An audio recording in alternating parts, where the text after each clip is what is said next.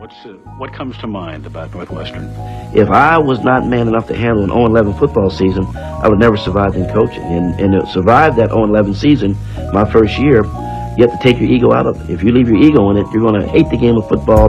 You're going to hate everything about the teams who have worked so hard to be successful. You'll never understand the whole idea of commitment and expectations. Once you take the ego out of it, then whatever's there is there. You know, if you got a successful season, as long as you know you gave 100%, then you'll accept it. If you don't have a successful se- a season, as long as you gave 100%, you'll appreciate that too. You won't like it, but at least you'll have a perspective about it.